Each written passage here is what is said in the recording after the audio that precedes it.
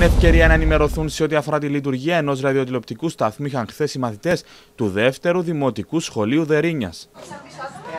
Πρώτο σταθμό των μαθητών η αίθουσα σύνταξης όπου ενημερώθηκαν για το επάγγελμα του δημοσιογράφου. Ακολούθως βρέθηκαν στο ραδιόφωνο του Αντένα, όπου συνομίλησαν με τον μουσικό παραγωγό Δημήτρη Τζι. Δεν δείχνουν ταυτόχρονα οι τέσσερις κάμερες, ξεκάθαρο.